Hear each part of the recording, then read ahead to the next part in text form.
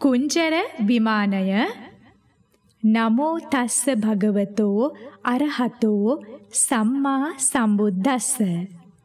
ඒ භාග්‍යවත් අරහත් සම්මා සම්බුදුරජාණන් වහන්සේට নমස්කාර වේවා. පින්වත් දෙව්දුව ඔබේ මේ ඇත්වාහනය උත්තම එකක්. නොයෙක් මැණික් වලින් මේ ඇටාව සරසලයි තියෙන්නේ. හරිම සිත්කලුයි. ශක්ති සම්පන්නයි. වේගවත් ගමනක් තියෙන්නේ. අහසින් ගමන් කරන්නේ. පින්වත් දෙව්දුව ඔබේ ඇස් පවා නෙළුම් පෙති වගේ. මේ ඇටා බබලන්නේත් නෙළුම් මහනෙල් පාටිනුයි. නෙළුම් රේණු වලින් මේ ඇටාගේ ඇඟ වැහෙනකම්ම සැරසලා තියෙනවා. රනින් කළ නෙළුම් මල්මාලාවන් මේ ඇතා පැළඳගෙන ඉන්නවා. මේ ඇතා ගමන් කරන්නේ නෙළුම් පිරුණු මාවතක. ඒ නෙළුම් පත්වලින් මේ මාවත බබලනවා. සුන්දර විදිහට මේ ඇතා පාතබමින් යන හැටි හරිම අපූරුයි. ඒ ඇත්වාහනය ගමන් කරද්දී මිහිරි නාදය පැතිරෙනවා. රනින් කළ සීනුවලිනුයි ඒ නාදය පැතිරෙන්නේ. පංචාංගික තූර්යනාදය වගේම එය සුන්දරයි.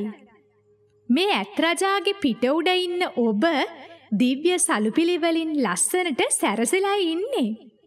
ඔබව පිරිවරාගත් අනෙක් දිව්‍ය අප්සරාවන්ටත් වඩා සුන්දරත්වයෙන් බබලන්නේ ඔබමයි. ඔබේ මේ පුණ්‍ය විපාකය ලැබුවේ දානයක් පූජා කරලාද? එහෙමත් නැත්නම් උතුම් සීලයක් රැකලාද? එහෙමත් නැත්තම් ඇඳිලි බැඳ වන්දනා කොට රැස් කළ පිනක්ද? මේ අහන කරුණට පිළිතුරු දෙනු මැනව.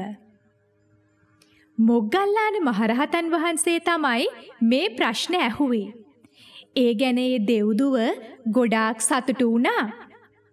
මොන වගේ පින්කම් වලින්ද මේ සැප ලැබුණේ කියන ප්‍රශ්නයට ඇය මෙහෙමයි පිළිතුරු දුන්නේ. මං සත්පුරුෂයන් වහන්සේ නමක් දැක්කා. උන්වහන්සේ ගුණ සම්පන්නයි. ධාන වඩනවා. ධානයෙහි ඇලී වසනවා. ඉතින් මං ලස්සනට මල් අතුරලා අලුත් පිරුවටයකින් සරසලා ආසනයක් පිළියෙල කරලා උන්වහන්සේට පූජා කළා.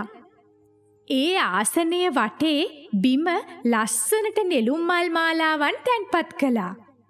නෙළුම් මල් පෙති ලස්සනට විසිරුවා දැම්මේ මේ අත්වලින්මයි. ඒ කුසල කර්මයේ විපාක වශයෙන් තමයි මෙවැනි සම්පත් ලැබුණේ. දැන් දෙවිවරු මට සත්කාර කරනවා, ගෞරව කරනවා, පුදනවා. ඇත්තෙන්ම යම්තා කවබෝධයෙන්ම කෙලෙසුන්ගෙන් නිදහස් වුන ශාන්ත ජීවිත ඇති බ්‍රහ්මචාරීන් වහන්සේලා කෙරෙහි සිත පහදවා ගන්නවා නම් ආසනයක් පූජා කරගන්නවා නම් ඒ බඳු කෙනෙකුට මට වගේම දිව්‍ය සම්පත් ලබාගෙන සතුටු වෙන්න පුළුවනි.